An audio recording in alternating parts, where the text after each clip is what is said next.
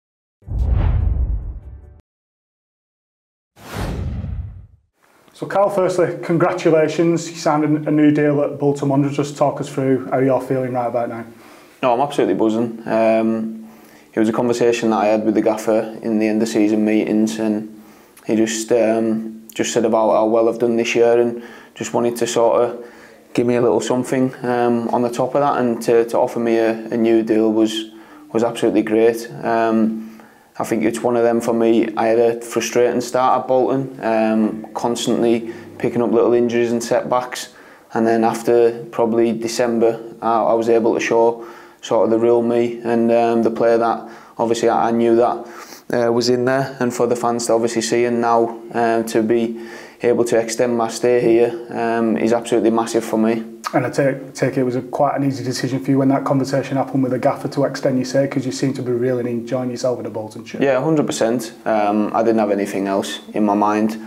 Um, it's, it's a project at, at this club where the way we're moving forward as a team, the way the coaching staff are on a day-to-day -day basis, everybody around the club um, and even the fans as well to me have been absolutely massive. So for, for me, yeah, it wasn't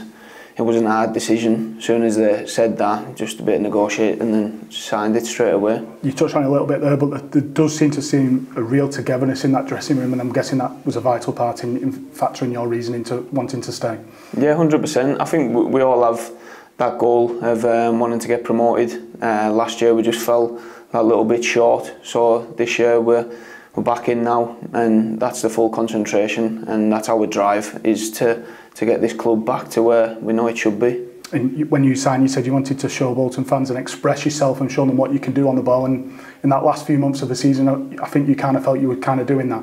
Yeah, 100%. I think probably at the start of my time here, I was putting too much pressure on myself. I mm. probably didn't realize how big of a club it actually was. And I just wanted to show everybody what I could do. Um, and I knew I was underperforming, and then I'd get another game, and then I was underperforming, and I was just putting so much pressure on myself.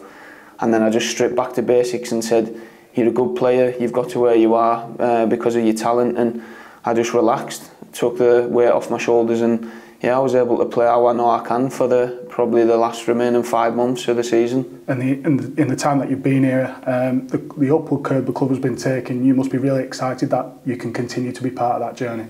Yeah, 100, that, that's, that's exactly the reason why I wanted to sign and the reason why I didn't have any doubt of signing is because of where this club's actually going, um, the journey that it's going on, and just everything about it um, that I love. I touched on it before, the coaching staff. I think obviously I, have got a 27 year old now and I'm still finding things that they're showing me on a day to day basis which is improving my game and it's obviously rare that you get that and like I say, I'm just looking forward to keeping on working here and, and getting this club to where I know it should be. And the way in which the season ended last season, falling short in the playoffs, there must be a hunger and a desire to try and get straight back in and, and try and go one step further next year.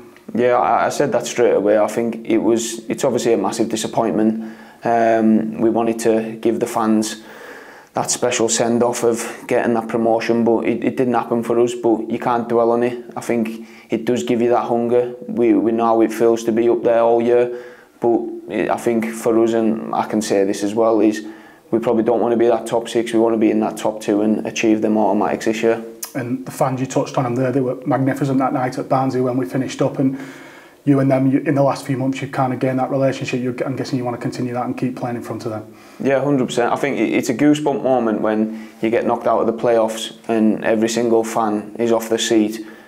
and obviously chanting your name and chanting for the club um, there was no disappointment there from them and it just shows the backing that they've got of us as a team and now it's on us to go and deliver this year